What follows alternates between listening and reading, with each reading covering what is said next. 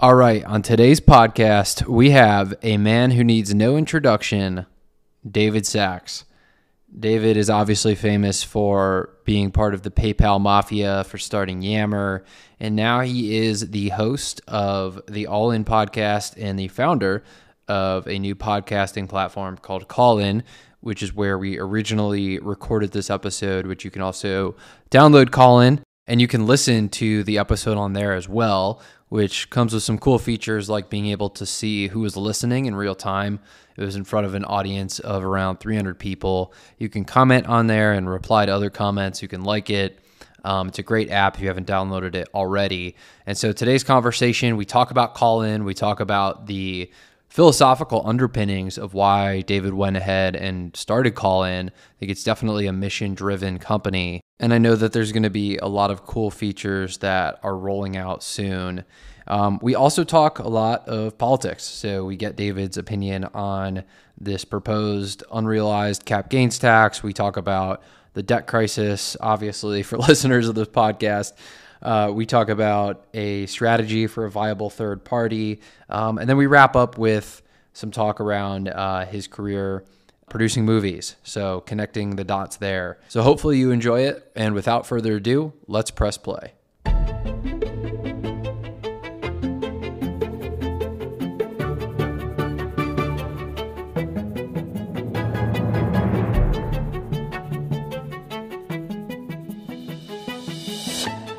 Well, let's get going. I know we have you for an hour here, so I want to make uh, make the most of that time. And I really appreciate you doing this. This is uh, definitely one I've wanted to do for a while, having been a uh, an all in listener for a while now. And uh, so I wanted I wanted to get started actually when I when I first went to uh, I, I went to the archives of the All In podcast because I think I started listening around the beginning of of 2021 and I saw that actually like the first episode or two you were not on there. So what what was the origin story of all In. and I know the kind of the the segue into to podcasting and getting into Callin we'll get into that but what was the origin story of of all in and and how that got started given you weren't on the first episode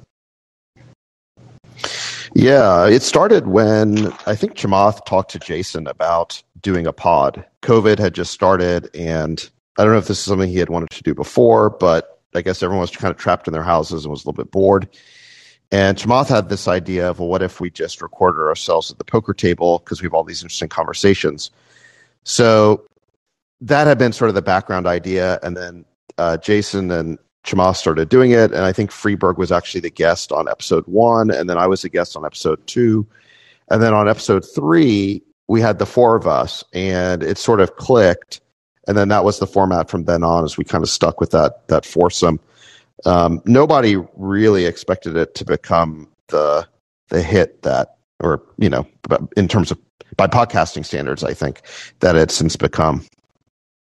Yeah, no, it's it's absolutely a hit. Um, I mean, it's it's been refreshing because you know we talk about the narrative monopoly and why I named that um, the name of my podcast is I, I believe there is a, a monopoly on narrative and I think that we're still in the early innings of having people like yourself or actual practitioners be able to weigh in on issues of the day. Um, rather than people kind of just coming and going and writing their, you know, 800 words and then moving on to the next thing. Um, and so it's been really refreshing. Yeah, I mean, we call it going direct, and we've had this conversation on on the pod, um, uh, particularly the episode with uh, Draymond Green. If anyone wants to check that out, where he was a we call it uh, bestie guesty, um, he's uh, he's a friend of ours who who plays poker with us, and we we had a long conversation about the idea of going direct. The basic problem is just that the corporate media has such an agenda. You know, whether it's um, you know whether it's a political agenda or just an agenda to get clicks.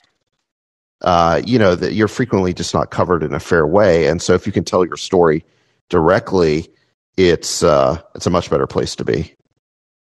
Yeah. So now, did that play into the uh, the decision to start Callin? You know, in terms of kind of like the you know, you're obviously a huge First Amendment advocate. Um, have been very open about uh, the problem of of you know these kind of these uh, these, these tech platforms working to deplatform people, kind of in, in conjunction with the corporate media. Did that play into the role of of starting Callin? Yeah, absolutely. Um, I, you know, there are a couple of things going on there. You know, one is creator economy. We want to enable anyone to be able to create a podcast. Um, and you know, I think Callin is by far the simplest way of doing it. All you got to do is push a button, start talking. The room gets saved, you know, as you know, as part of a show. And so we're enabling people to to go out there and you know go direct. You know, build their own shows, build their own pods, and all they really need is a iPhone and something interesting to say. So that's a huge part of it. And then, you know, another part is that I do think that social audio is a big wave, maybe one of the last social waves. And I could see that what was happening on other platforms is the same thing that happened with social networking general generally is they were hiring the same trust and safety people. They were setting the stage for deplatforming. And I thought it was important that if we could create um, the the winning kind of social audio platform that we could um, you know that we could set a standard that would be you know much more open to free speech. What what is the long term vision in terms of both that policy towards um, you know free speech and then also you know I would love to have you get into the, the product roadmap roadmap. Um, I was speaking to Charlie earlier and he said you have some great features coming along soon. So what is that long long term vision on both both sides of the coin there? Yeah. So on on speech, um, we I guess we see it. There's a few things we take into consideration. Number one is um, the you know unlike some other social audio platforms, which are really a many to many conversation, the all the the rooms or episodes on Callin are episodes of a show, and so there's a creator there, there's a host, and they control what gets said in the room. They can control who gets to speak, and then if somebody contributes content that's not you know worthwhile to the conversation, we have the sort of post production editing features. You can go and edit it out. So first of all, we're trying to enable the hosts of the show to put on the show they want. And when you see the room that way as episodes of a podcast, I think it's very different than again being part of some like party line or, or many to many conversation. So I think it's very important to understand like who whose speech we're trying to enable and then with respect to the creator, uh, our view is that we want to give them as much speech as we can within the um, strictures of you know of the Apple App Store. You know, and they have a bunch of requirements on what they allow that we have to enforce, and so they're already pretty restrictive. So our view is that you know we're going to enforce all of those requirements because the last thing we want to do is become a free speech martyr. It doesn't do us any good if we try to set some policy that's at odds with Apple and then we get thrown off their platform. So we're not going to be a free speech martyr, but we're going to try and give creators the maximum creative and artistic freedom that's basically allowed within the Apple platform. Got it. Now, now, how about the uh, the product roadmap that's that's coming down? Does the, I have to ask you? Does, does the product have a distribution hook? Yeah, I mean, I think the distribution hook here is just the one tap sharing to other platforms. Um, it's just so easy to create audio and then share it all over the web. And you're going to see a lot more sharing features. Um, we have, I think, pretty decent, I guess you call it link sharing features, but we can do a lot better, you know, in terms of actually embedding the uh, the audio inside of other sites, whether they be websites or social platforms.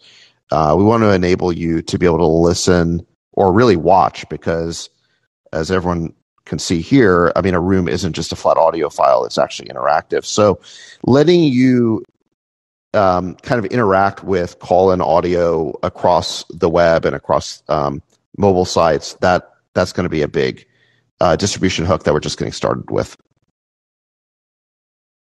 That's great. That's great. Um, so let me let me ask one more question on uh, Callin, and then we'll get into kind of the, the meatier part of the conversation, which is why. Uh, I think it's a good bridge to walk over. Why why did you change the name of your initial Callin show from Red Pills to Purple Pills?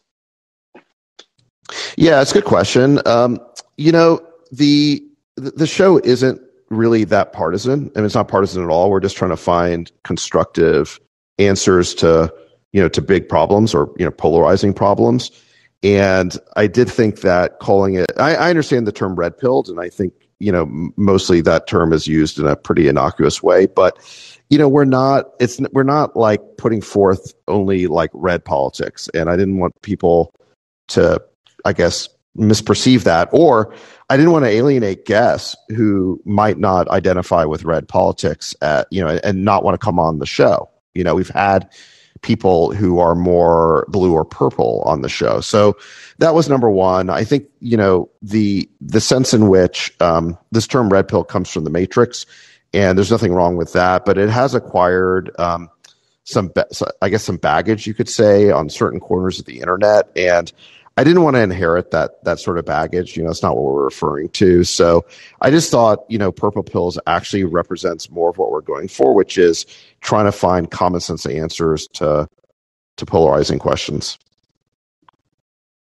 Right. So maybe the, the, the operative part of that is, is more the, the pill as almost a like a in, in the sense of using it as a verb, um, like in the Matrix sense, since it has been taken out of context from from from the actual movie. Um, uh, well, I think you know some, sometimes when I hear it used, like for example, there's a bunch of like really interesting journalists and writers on Substack who used to be pretty left wing or liberal, and now ha- are really speaking out against this sort of authoritarian tendency on the left, whether it be um, you know whether it be um, speech restrictions or censorship or um, repression of, of civil liber- liberties through like crazy COVID edicts. Um, you know, the, the, as a category, I, you know, a lot of them are kind of known as kind of red pill journalists. I think that's fine. I think everyone understands what they're saying, but you know, this whole like red pilled um, moniker has also been used by different corners of the internet to mean different things. And again, it's just baggage I don't necessarily want.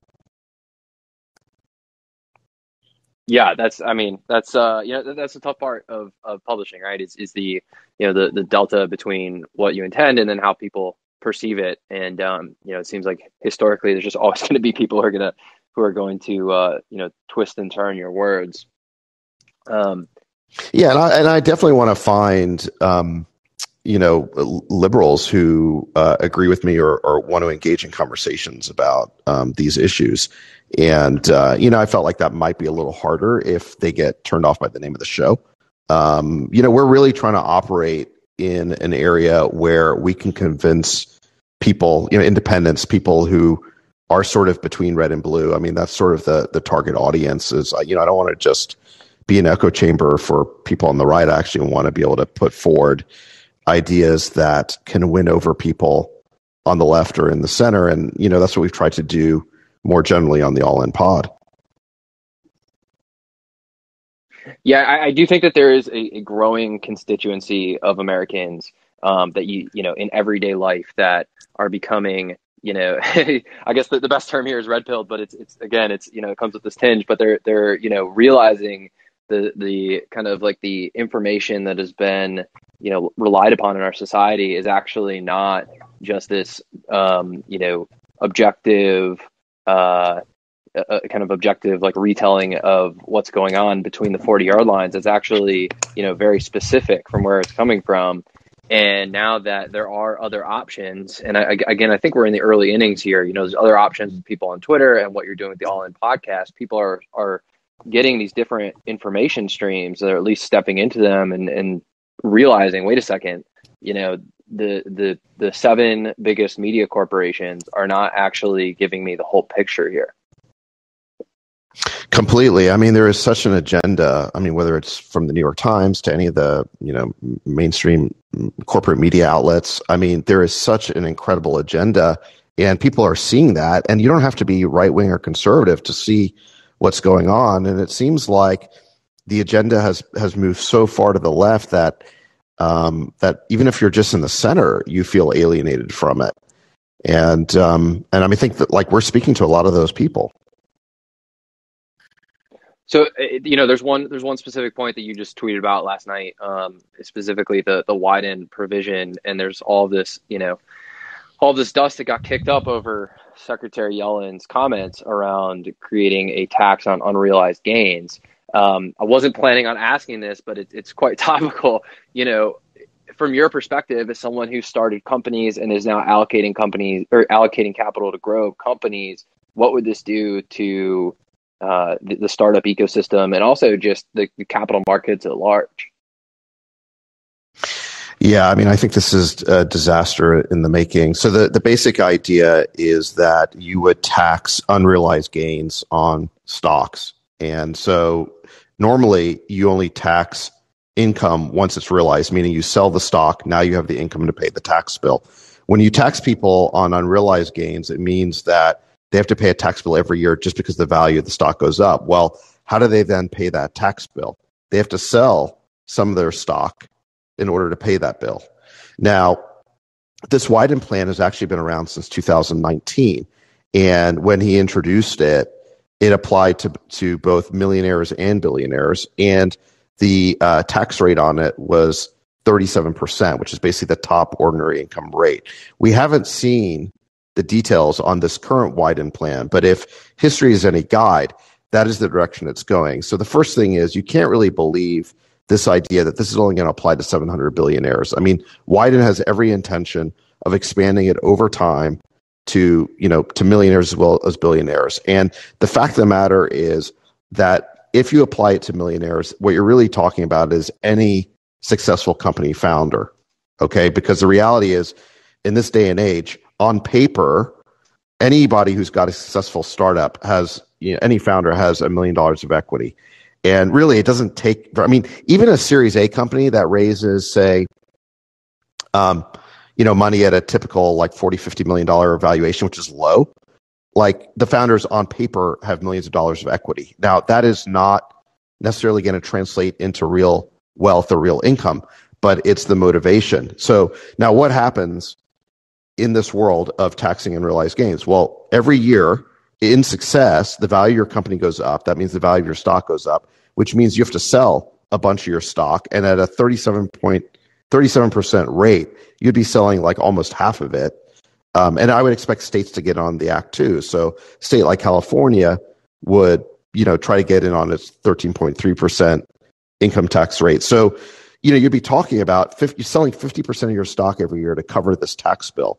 So So basically, every year that the company is doing well, the founder's ownership gets cut in half until the point where their ownership is just negligible on paper. I mean, think about this. This would destroy the whole entrepreneurial economy where what you want is it's exactly the wrong feedback loop, right? The great thing about the American system is that as a founder keeps doing well and as their company does well, their market cap goes up. It attracts more investment. That creates more resources that the founder can now use to work with and they can expand what they're doing. So take an Elon Musk, right? This is a guy who starts with nothing and 20 years later he's got the resources to send people to Mars, right? That's because in that 20 years he's proven that he knows what he's doing. And so the market rewards him with more capital. If he had to sell roughly half of his shares every year, 20 years later, he would have negligible ownership and he wouldn't have the same level of motivation to keep creating what he's creating. So, I mean, this is a real, I think, uh, you know, this, this is almost like a crazy idea that would totally upend our entire entrepreneurial system. And I don't think they've thought it through at all. I mean, to be proposing this at the 11th hour, they haven't done any hearings on this, no committee markups. They haven't heard from witnesses. Other European countries have tried something like this and had to repeal it because it did so much damage. It never ends up raising as much tax as you think because it scares so many rich people out of your country and people stop creating businesses uh, in your country. So, you know, countries like France have had to repeal stuff like this. So it's just amazing to me that uh, this is seriously on the table right now. Now, wouldn't wouldn't that also apply to someone who owns a restaurant or someone who owns, you know, a small real estate company that even if they own you know a few properties and they're they're leasing them out like wouldn't wouldn't that apply as well? Eventually. I mean so right now they're saying well no no no we're not going to get the little guy. This just applies to billionaires. And that is version 1 of the bill. But once they have passed this and applied it to basically creating a whole new tax system right? I mean basically it's a it's a kind of wealth tax where you're taxing unrealized gains.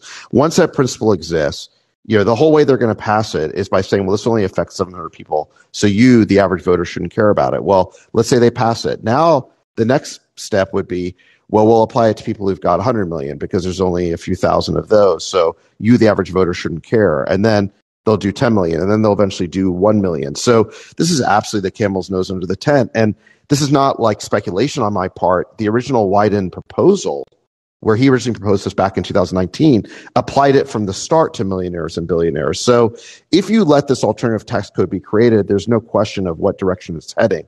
And in any event, I think this whole idea of judging a tax based on you know who it impacts and well it only affects 700 billionaires so the rest of us shouldn't care about it that's really the wrong way of looking at it because all the rest of us should want a healthy economy and so the question is what damage will this tax do what unintended consequences will it have? How many jobs will it destroy? How much innovation will it dampen? Those are the types of questions we should be asking. And the idea well this only affects 700 people so the rest of us shouldn't care. That's a really bad way of looking at it. Now, there's there's two different theories on this, and the second one you just touched on. But the first would be that basically this is just a diversion, right? So they're having trouble getting this thing over the line. They can't get Manchin and, and Sinema on board, and so basically you just plant the flag way way farther, and you say, you know, you get people all riled up about this, and then then they pull it back, and then all of a sudden where they were doesn't look as radical as it was. Um, so that's that's kind of where I right. think is is going with this because, as you alluded to, this is the second point. Um, you know, I, re- I really want to get into debt, which you you talked about on All In two weeks ago. The second well, can, can I just be, can, can I respond? Yeah, can I respond to that point? So, so I think you're right. I mean, there's certainly a lot of speculation that this is kind of like a shock and awe tactic, where they're going to propose something so awful that a regular rate increase no longer seems nearly as bad and that maybe that will be the, the, the fallback position but i'm not i'm not sure that that's true that may be what ends up happening but i i think that the progressives in the senate are absolutely serious about uh, passing this and i think that if they had a few more votes they abs- it, it, it probably is the case that this is too radical to pass but if they had a few more votes this is absolutely what they would do um, yeah, you know, Maya Angelou has this old saying that when someone shows you who they are, believe them. I think really, like all of us who are concerned about having a healthy economy and this sort of entrepreneurial ecosystem, which is really the golden goose of the American economy, we need to listen to what these politicians are telling us about themselves. And I know so many, you know, people in technology in Silicon Valley just reflexively vote for one side of the aisle because of you know social issues or which really have been settled you know. No one's really d- debating gay marriage or anything like that anymore. But yet i just think that so many people in tech are still voting for this side of the aisle and i don't think they've woken up to if you keep voting for more of these radical progressives they are going to dismantle the free enterprise system that we have i mean again, they call themselves socialists. This is not even, this is not like a label I'm applying. This is a label they apply to themselves. It's a very radical movement in American politics. And it, it doesn't represent the entire Democrat Party, but it's largely hijacked the activists and, you know, probably has over 40 of the 50 um, Democrat senators. So I think, you know, people in our in the technology world who are socially liberal but believe in the free enterprise system really need to wake up to the threat here and start being a lot more careful about who they're supporting politically. Now, what's interesting is is um, you know you talked about I think you talked about a third party in some regard to uh, on the All In podcast, and there is you know there, there are these huge structural moats that the two parties have right now. And you know, th- there's an op-ed today by Gerard Baker in the, the Wall Street Journal, who uh, pre- previous guest on this podcast, but he starts out with um, a quote from his, an Israeli diplomat saying uh, the guy's name was Abba Eban in 1973, saying the Arabs never miss an opportunity to miss an opportunity. And the whole point of the op-ed is to basically go on to say that you know the the other party, which would give an alternative solution, the Republican Party, is not offering that solution, and they really don't have an agenda right now that would be um, an alternative vision that you know, as, as you're saying, would be widely popular if it just was based off the free market system, didn't deal with social issues, and perhaps they have that and they're just not selling it. So, as far as a, a viable strategy for a third party, have you put any thought into, you know, how that would happen, or perhaps you know, reshaping the the two parties as is? Like, how do you how do you think about this? Because we kind of are locked in. I, I tend to think that uh, you know the American system really is a two party system, and third parties generally are just spoilers in election, and they you know will usually work against one of the two mainstream candidates. Um, So I, I tend to think that change happens through one of the two political parties. And if you want to affect change in America, you need to essentially fight and win and seize control over one of the, the two two major parties. I think that's effectively what's happened in the Democratic Party. I mean, the progressives in the party have essentially seized that party. Um, I mean, I remember when Bill Clinton came in and you had this whole um, Democrat Leadership Council, the DLC, and after you know more than a decade of losses in um, presidential elections because the Democrats had gotten too far left, Bill Clinton basically reformed the party and moved it more to the center, and that was a very effective strategy. Um, today, the party has moved further left than it ever has. The progressives are where all the energy of the party is. It's, it's all the activists, um, and they seem to control not all, but I'd say most of the votes. So you really they, they have succeeded in essentially seizing control of one of the two major parties. Um, I think that kind of narrows down the options here. And um, yes, you could create a third party if you don't like the Republicans, but a better idea might be to work within the Republican Party to try and reform that party in the direction you want.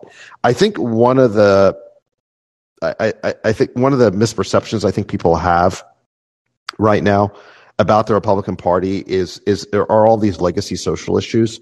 Um, you know, they do still matter to to groups within the party, but um, so many of these issues have already been resolved and just don't matter anymore. And you know, a great example is like you know, gay marriage, where everybody basically supports that now. The Supreme Court has already ruled on it. The Republican Party was definitely late to the game on that issue, but and and, and it was definitely one of the reasons why. I mean, I remember back in I guess 2018, you know, I supported Gavin Newsom because he had been good on gay marriage and he had been good on cannabis legalization, just to take two social issues where, you know, I thought the Republicans were definitely behind the times. But those issues have been taken off the table. Everyone basically largely agrees. Certainly with gay marriage and cannabis is almost there. So I just think that, like, you know, there are other social issues, but um, I think people are going to have to make some tough choices about whether they really support this radical progressive agenda because there just aren't a lot of choices in our political system. I, I will say, you know, the, in terms of actually like flipping a party. So looking this up before this this this conversation, um, you know, the, the Dem Socialist Party has four members in in the the U.S. House. Uh, they have multiple members across city councils um, in the entire country. And then actually, this wasn't really widely reported, but on March 6th of this year, the Democratic Socialists actually swept the entire leadership uh, of the Nevada Democratic Party. So they actually own all five party leadership positions, and the entire uh, Nevada, the, the, entire staff that was there just resigned in, in mass, in, in, according to this. So I think that actually what we're seeing, and it hasn't been reported on right now, is that the Dem Socialists are actually operating on a, a very disciplined plan to run as both Democrats and Dem socialists, and then just continue to flip and flip and flip. And you're seeing this in, in Buffalo as well. They the you know the the mayor the the the candidate for mayor actually um, on the Dem side is Dem socialist, and Right. Um, yeah, you're right. And something very similar has happened in California. I mean, look, if you look at the activists, the shock troops, the people on the ground, the people who are volunteering all of their time and doing protests and organizing and getting out the vote and all this kind of stuff, the the activists, the energy in the party is absolutely the Democratic Socialists, and uh, that's that's pretty scary. Um, this to me, like opposing that, is more important. To me, is a bigger is more important than some of these nuances um, about you know as between the old center versus right. You know, um, so what, what I mean by that is I'm happy to support moderate Democrats who will oppose the sort of democratic socialist agenda. I'll also support Republicans who will oppose that agenda. To me, the differences between the moderate Democrats like a Clinton and the Republicans are pretty minor. I'd be delighted to have like a Bill Clinton like um, you know, president, uh, you know, and, and, and I'd be happy to support politicians like that. Again, I think all those distinctions were very small. I mean, another way of looking at it is, you know, there's an old saying that American politics is fought between the 40 yard lines. You know, that's the way American politics used to be is, you know, the two sides would push the ball back and forth. Um, and then occasionally someone would score a field goal, and then even more occasionally someone would score a touchdown and pass some legislation. You know, when politics was like that between the 40 yard lines, like I didn't really feel a need to pay that much attention to it, but it's changed now because progressives are really fighting goal line to goal line. You know, like at stake here is not just some marginal program, but like the entire free enterprise system. I mean, they are outright declaring that they want to replace our capitalist system, capitalist with a so- social safety net. I support that. They want to replace that with a socialist system. I mean, they're outright saying that. Um, so we're really talking about, you know, they're fighting goal line to goal line. And to me, that is what has to be opposed. And that to me is more important than, you know, minor, like sort of old partisan differences. Yeah, I think a great point there that people don't often think about is is kind of this axis of, of involvement versus non-involvement, and then the, the necessity to do so. And it is it's, it's it's actually you know it's kind of annoying to have to pay attention because wait a second, there's there's real repercussions that that could come of this. Yeah, I mean the the you have to kind of look at who the full timers are. Um, you know, it, it, as with anything in life, the people who are doing it full time are the ones who are going to be successful, right? Because they're totally focused. And one of the problems in politics is that the moderates um, and centrists, and I mean, I consider myself one. I mean, we are part timers, right? Like, I'm focused on building companies and making investments in those companies. I don't really want to have to spend my time on politics. It's something I do when I become alarmed by what I'm seeing and then I try to get involved and make contributions and support things on social media and talk about on the pod. But the reality is, I'm a part timer, and the people who are full time, who have devoted their lives to bringing about these like radical changes, I mean, they're doing this nonstop, and um, that's pretty scary, you know. There's a uh, the, the the the LBJ books by Robert Caro. Um, I mean, those those are phenomenal, um, and, and, it just that that actually is like a great uh, example of what you're talking about. Is you know he and not to say he was like eh, that radical or anything, but um, uh, you know his his work ethic and his drive is like really what set him apart. I mean, the fact that he was able to uh, command the Senate in the way he did and have a command even from the presidency of of you know steering legislation and whipping votes was entirely a product of his work ethic. Um, there's actually an anecdote in there when you, you just use the word focus, where he was uh, he was campaigning for the Senate in the in a helicopter. This was in the 40s, and he had four people in the helicopter, and the helicopter dropped about 20 feet and hit the ground and and, sp- and spiked all the way back up, and um, it, it, actually it recaught and it, it continued to fly. Everyone was was going crazy, and he didn't notice. He was so focused on what he was doing that he didn't even mm-hmm. notice. So uh, apply that right. across to um, you know that versus part time. It's it's scary now. Yeah, yeah, exactly. And I think and I think the, so. The question you always have to ask is, what is the mindset of the people who are the full timers? And um, and maybe my perspective is a little bit skewed because I'm in California. But when I look at, you just go on Twitter, right? You look at who are the people who are the activists who are um, staffing behind the scenes, not just the elected politicians, because they're more careful about what they say, but their chief of staffs and the party leaders and operatives. It's all democratic socialists. So it's it's the radical activists. And yeah, they've dedicated their life to making that change. That that is what's scary, you know, is if the if it was just if the full timers were people who were more moderate or centrist or or liberal, but you know, if they just wanted a bigger social safety net as opposed to upend the entire capitalist system, that'd be fine with me. There wouldn't be such a need for me to speak out. But this is what's got me concerned. You know, let's talk about uh, something tangible here, which is which is debt. So back to the the earlier discussion around you know why they need to implement this this aggressive tax around unrealized capital gains is, is the fact that we simply don't have enough money to pay for the spending. Um, despite the fact we've had record revenue year after year after year, um, you know, our debt continues to rise. You talked about this two episodes. Um, you know, we're at 29 trillion right now. Over the next 30 years, we have a baseline of 100 trillion in deficit spending because of uh, retiring boomers in Medicare, uh, Medicaid, and Social Security. Um, you know, do, do you have any opening thoughts on this? Because this is, to me, I'm biased here. This is, I think, the most important issue that we face as a country. I think it's the most important issue that nobody ever talks about. Um, I mean, how we, we keep hearing that deficits and debt doesn't matter. Uh, and in fact, you know, I, I, I, am I still marvel at this because there's an entire school of economic thought called modern monetary theory that basically has put forward the idea that literally debt doesn't matter. Um, and so I, I, I, was just yesterday, I was like Googling this, and every single year for like the last 10 years, there are multiple, you know, op eds written basically with the headline that debt doesn't matter. And it's just so incredibly irresponsible. I mean, debt doesn't matter until it suddenly matters. And then it matters. It's, it's kind of like that old saying about how did you go bankrupt slowly at first, then suddenly.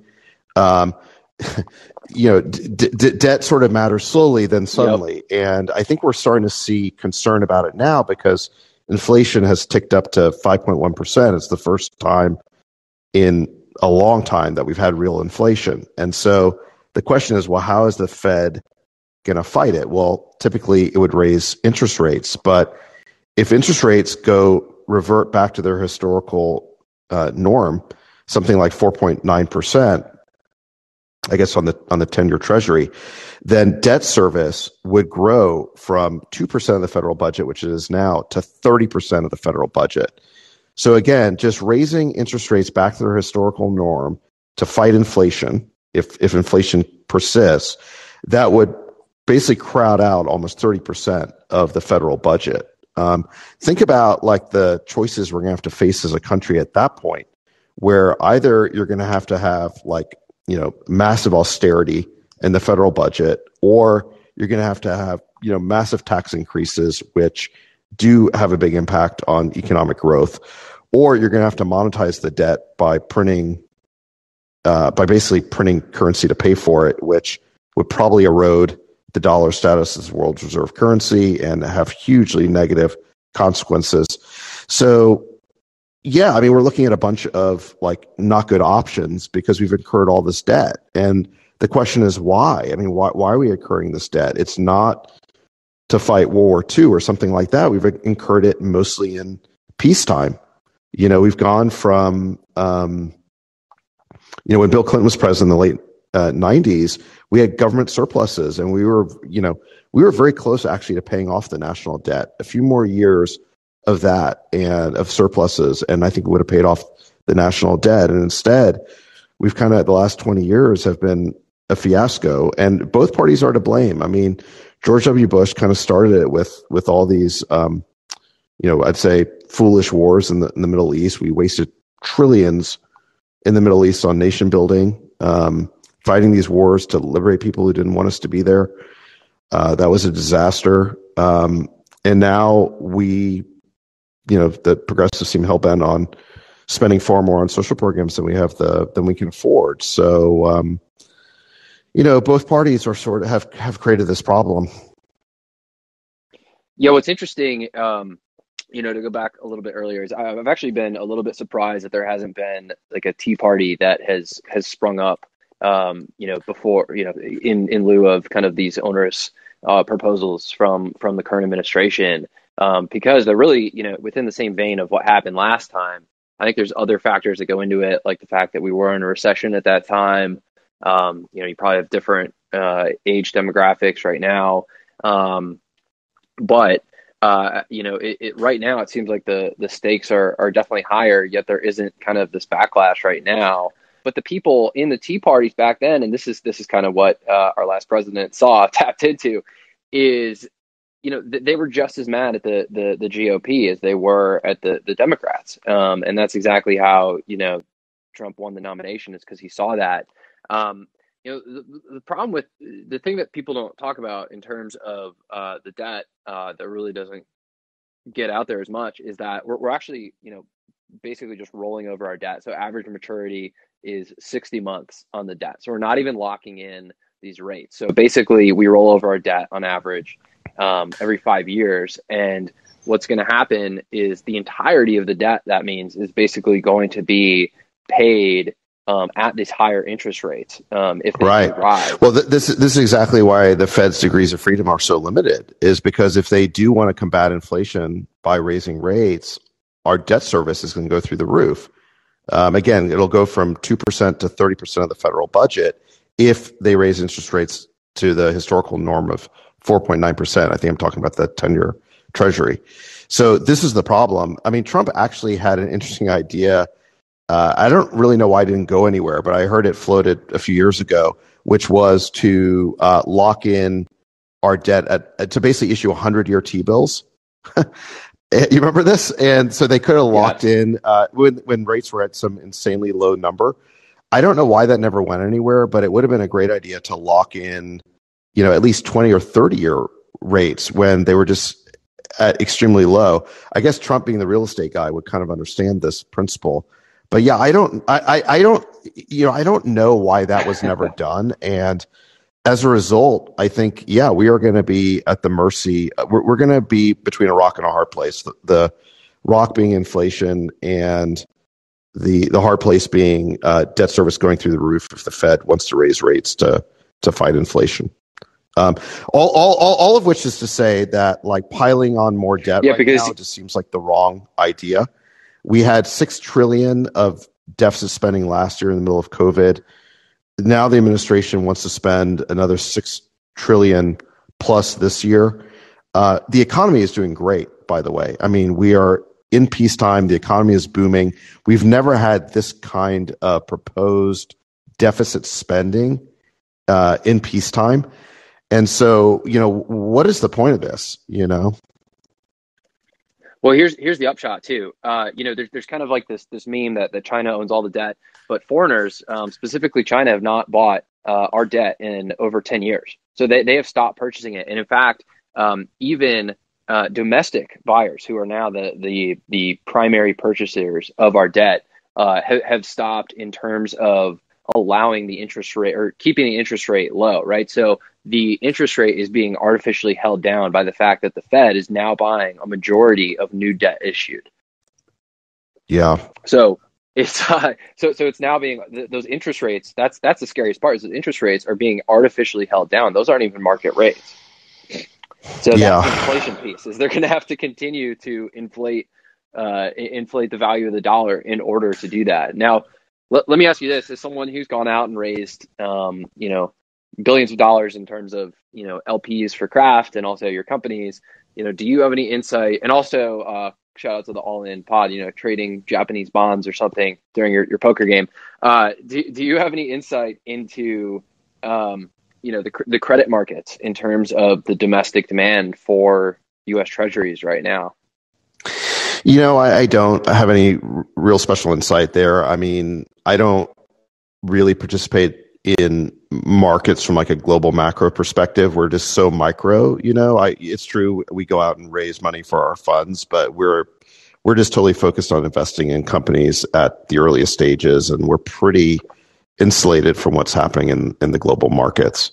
Um, but uh, but yeah, look, you you raise you raise a great point here. You know, um, there's an interesting site here called usdebtclock.org, which everyone can go to and um, it's kind of got this like uh, debt clock on the U.S. national debt, which is right now running at 28.9 trillion. The debt per citizen of the U.S. is $86,000. The debt per taxpayer in the U.S. is $229,000 per taxpayer. And you know this money has to be paid back. There's no like all debt must be paid back at some point. And um, you know, I, I just the, the question is why are we incurring so much debt? Why are we living beyond our means like this? Um, in terms of these like specific programs, I'm not really against like any of the specific programs. I just think we have to live within our means, and we have a great system in the U.S., which is we have a free enterprise system that generates prosperity and innovation, and the economy keeps growing, and then government will get its take, which historically has been around 20 percent. Um, if you go back over the last 50 years, it squiggles up or down by about 2%, depending on whether you're in a recession or not. But it's amazing how consistent the federal share, the federal uh, tax receipts as a percentage of GDP are, even with wildly different uh, top marginal income tax rates. The federal government seems to get around 20% right. uh, of, of GDP. And we could discuss, there's a whole bunch of reasons why I think it's harder to go above that. But the point is that the federal government will get its take of this growth. It will get roughly 20% of GDP. GDP keeps growing. That's the, the golden goose is the free enterprise system. And then that 20% will be used to fund basically the social safety net and progressive programs. I have no problem with that basic construct. That is the way I think it should work. Over time, as the economy gets bigger and bigger, we'll be able to fund more and more programs and we'll be able to be more and more generous with people over time and fund more and more things. But what doesn't work is when you break that system or upend it and you say you want to replace the free enterprise system with socialism like that wh- why would you do that? I mean it's really like a form of impatience i guess where if we're patient over time the prosperity that the, this system the american system will continue creating will fund all the programs we need but you know it just seems like people can't wait and they're willing to incur massive deficits and debt uh, now to pay for the programs at the risk of breaking the entire system yeah, it'd be interesting to see the, you know, if there's any good research on, I mean, it's it's empirically true, right? So I'm looking at the chart now. It's 1940 to, to 2020. It, it always tops out at, at 20% of federal revenue. So if we have a debt of 200% of GDP, which we will have soon, um, you know, paying it off with only 10%, which is, you know, 20% over 200% is just not, it's not going to happen without um, somehow becoming, uh, without soaking the middle class. But let's uh let, let let's shift gears here because I think people have, have gotten the point that they need to start paying attention to debt. Yeah. Um. Okay, so producer of Thank You for Smoking, um, great movie if no one's ever seen it. Uh, the Mod Squad, so Merchants of Death was uh, alcohol, tobacco, firearms, uh, I believe. Um, who would be the mod squad today? Would you would you swap anyone out for for anyone any different uh, merchants of death today? That, that's funny. Yeah, you know, at the very end of the movie, there's kind of a, a recap in which um, the mod squad, it, where Nick Naylor, the main character, is kind of narrating, and he mentions that the mod squad has a few new members, and I think they were. I, I was I did a cameo in there for about two seconds where I was one of them. I think I was like the uh, oil lobbyist uh, I think another one was maybe fast food, and then I, I forgot what the third one was, like radioactive waste. I mean, I guess I know the one that they're trying to add to the mod squad right now, which is social media. They're trying to make social networking companies to be out out to be the new cigarettes, and this is a thing we've heard now for years is that social networking is like nicotine. I just like totally reject that. I think it's absurd. Um, it's a metaphor that's been taken way too far. I don't even really believe that social networking is very addictive. I think it's a mildly diverting amusement that occasionally yields useful information. Um, if I were to poll everyone listening to us right now and ask them, are you addicted to social media? Uh, are you uh, being programmed by it? Are you being brainwashed? Every single person would say no. Um, so this is something that we don't believe about ourselves, but somehow we bought into this narrative that it applies to everybody else. And um, you know, there's a sharp dichotomy, in other words, between how we perceive our own usage and how we perceive everybody other else's usage. And I would submit that you know our own usage is what we know to be true and what we know to be the case, and everybody else's usage is narrative that's been constructed for us. And I think we should we shouldn't just automatically buy into that. Right. There's there's probably some sort of normal distribution around uh, social media addiction, and um, you know, it's again, it's it's pretty easy to craft a narrative when you get you know a few. Uh... I, I don't I don't even believe people are addicted. You know, I think they just like using the products. I mean, look, I guess I've got like a Twitter addiction. I probably do. I've got like a phone addiction. Um, but it's not like something I'm like unaware of. It's just I like using the products. Um, and I think we should just understand that there's a real agenda behind uh, trying to characterize uh, social media as a health hazard, which is they want to regulate the content that appears on these social networks. Um, and they, they don't like the idea of consumer choice. They don't like the idea that users are are um, are y- using the services they like and, and consuming the information they want. They want to have more control over the information you get in your newsfeed. And um, this is not some conspiracy theory on my part. This is what the senators on the Senate District Committee have said over and over again. Uh, this is what Frances Haugen suggested when she testified: is that they needed a new regulatory agent like the FCC that be staffed by with people like her who would control what you see in your newsfeed. So that's what's really going on here: is that social media is suffering all these blistering attacks because there's an agenda of censorship. And the crazy thing is that the media supports it, um, the politicians in power support it. But we should understand that if we give into this, it's simply going to result in uh, a loss of control over the information we consume, and our own choices will be substituted for people in power who want to make those choices for us. You know, it, it, it just seems like uh, one of those things that you know they, they think that they're going to be able to regulate it but you know Martin Gurri who I interviewed um, is first guest on my podcast and I interviewed him on, on Callin as well you know he likes to say that information is redundant and it just can't be switched off and what he likes to call the, the Mubarak switch um, in which Hosni Mubarak like, cut off the internet uh, but the the information still got out even in something that drastic yeah, I mean, I think I think trying to I think there is a an aspect of futility to trying to regulate um, content or speech on the internet. Um, you know, you're all you're always going to have this sort of one percent problem, and I think what what Facebook and Twitter have found out is that no matter no matter how many content moderators they hire, there's always going to be that small percentage of content that gets through that causes problems. Um, and the more you try to tamp down on that one percent, and you know, um, try to make it 0.1%, the more innocent people get caught up in the dragnet and then they get their accounts frozen and suspended too. I remember, um, you know, Rand Paul, the, uh, the, the father, or not Ron, Ron Paul, rather. Um, he's the father of Rand Paul, the U.S. Senator. He got swept up in this and he got his Facebook account frozen.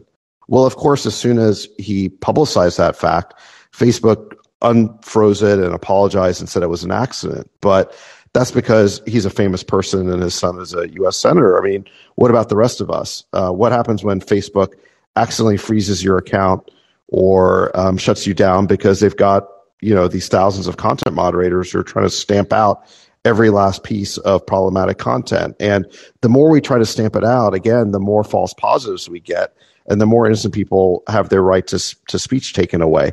So I think you know this has become. Uh, we, we, should understand that there are serious trade-offs here in trying to um, tamp down on speech that we think is problematic. It, you know, back to what you were earlier saying around implementing policy that's that's you know it's it's haphazard. I mean, this just seems like it, it is being done haphazardly. I mean, in terms of studying this stuff, it, it really is done almost uh, almost vindictively opposed to just from a, a, blank slate approach of figuring out okay what does the communication law look like for the 21st century? Um, no let me let me ask you uh, or did you want to make a point there? Well i just think that the internet is a platform for the ordinary person to be able to have speech rights and to be able to speak. And it, it's the new town square. I mean, when the U.S. Constitution was written, and they, you know, there's a very important part of the First Amendment, which is it wasn't just a right to to free speech and a free press, but also the right to assemble. And because that's the way that speech took place, is you go to the you'd assemble in the town square, and people would get on a soapbox and they would talk. Well, where do people assemble today? They assemble on social networks. That is where speech takes place. It is the new town square. The town square essentially has been digitized and it's also been privatized because the town square is now owned by these private companies. Um, if the town square were still public, it would be a violation of the First Amendment to try and regulate the ways that people are, are speaking. Um, but because these companies are private, the politicians can make an end run around the First Amendment and try to pressure Facebook and Twitter and these other social networks to engage in censorship. And that's basically what's been happening. You look, look at all these hearings on, um, you know, on Congressional Hill, and it's always the same thing, which is that Zuckerberg and Dorsey are being lectured by the senators to take down more content, and they're basically being threatened with antitrust violations and breakup of their companies if they don't accede to the will of these centers to take down more content. Um, so we, it's a really um, bizarre situation in which, uh, again, the, the town square has now been privatized, and as a result of that, it can now indirectly be influenced and controlled by the people in power. This is the exact thing that the First Amendment was designed to prevent. We know that people in power will always try to censor speech and prevent people from criticizing them if we give them the opportunity. This is why the First Amendment exists. It's one of our fundamental freedoms. And, um, you know, I think we should just be like really careful to understand that all these attacks on social networks are motivated by an agenda. And that agenda is very much simpatico with the desires of people in power to control what the ordinary person can um, can say or consume. Well, I, I have not thought of the freedom of assembly uh, part of that. So that, that is an excellent point that I think people should should definitely take into consideration. Um, I know we got to get out of here. The last yep. question I want to ask you here is uh, is is around um, you know back to to to uh, thank you for smoking. You know, Nick Naylor, he goes to uh, Hollywood and he wants to get a movie made for the purpose of influencing Americans on his issue. Now, right now, the CCP is obviously doing that uh, not only with their own movies. So there's this movie that just came out retelling the Korean War, where we're the bad guys, um, and it, it, paints the the Chinese army in a heroic light. But you also have them influencing Hollywood in terms of you know they they the CCP got MGM to spend a million dollars to re-edit the remaking of Red Dawn and swapping out you know China for North Korean the North Korean army. Um, you know, do, do you? why are we unwilling as Americans to play this game to understand you know that cultural means of production do influence the the you know the the, the nation at large? Well, something very interesting has happened here. If you go back to say the early 90s when we started to it really even happened before then but it really happened in earnest in the 90s where when bill clinton gave china a temporary uh, mfn basically most favored nations um, status. And then uh, george w. Bush when he came in made that status permanent. Um, the, the whole theory in terms of engaging china by opening up our markets to them and engaging in trade was that it would make them more like us. They would basically, if we got them to liberalize economically, then they would liberalize politically. And essentially, we would influence them to be more like us. Not only did that not happen, you know, not only did, I mean, what we basically enabled China to do was to modernize, but they certainly didn't westernize. And in fact, the opposite happened, which is they have influenced us. And the way they have influenced us is that China represents such an enormous market it's such a lucrative opportunity for companies to be able to have access to their market that companies in the US are willing to sort of muzzle and muffle what they're willing to say about China in order to get access to that market. And I think Hollywood is a really good example that they're being very careful about the product they're putting out because they don't want to do anything to offend uh, the the CCP. Um, something very similar happened with the NBA, right? When Daryl Morey, the, one of the GMs in the NBA, published a very innocuous tweet, I think, supporting the people of Hong Kong. He was absolutely shouted down by you know everyone in the NBA because they thought he was jeopardizing their ability to make money in China, and so you know China has used their has used their market access to influence us and we really didn't require China to do anything in order to get access to our market. So we threw open our markets to their products, which resulted in millions of manufacturing jobs basically being exported to, to China. That created huge political consequences in the US. Is one of the main reasons Trump got elected is because of this policy. And what did we get in exchange for that? We never really demanded anything in exchange for giving them access to our markets. So I think the relationship has been very lopsided in that respect. And we should be thinking about, you know, if they're going to put conditions on access to their market, then why aren't we putting similar conditions on access to our markets? Yeah, it certainly seems like they learned the lessons of uh, the, the, Soviet Union, took the, the, good and the bad, and, and incorporated. Well, yeah, the, the, well, um, this is something that I think Xi has been very clear about is, and and really the the leaders before him is that they saw they absolutely saw what happened with Gorbachev in the Soviet Union, and they know that the max, maximum moment of peril for any autocratic regime is at the moment when they try to reform anything. And so they they've been very clear that they don't want what happened to Gorbachev to happen to them, which is to say that they they were willing to um, re- reform. They were willing to introduce market-based reform, which is sort of like perestroika, but not glasnost. And in fact, they've been cracking down more uh, politically uh, in order to have a firmer hand. At the same time that they've been opening up their markets to entrepreneurs. Now, I, I would say that that's been true for 20 years. Um, under Xi, it's changing a little bit where they seem to be cracking down on markets too and entrepreneurs, cutting down the billionaires to size in their country. Uh, so it's going to be very interesting to see what happens from here. Right. Perhaps they perhaps they uh, had had some sort of statutory limit uh, behind the scenes on, on how much they would leverage the market to get to get their ends. But um, all right, so we're we're pushing up in an hour here. I think we just went over, so I just want to say thank you. um, thanks for coming on, and uh, I hope everyone enjoyed the conversation. Thank you, Jeff. Appreciate it. All right, take care. Bye. All right, bye bye.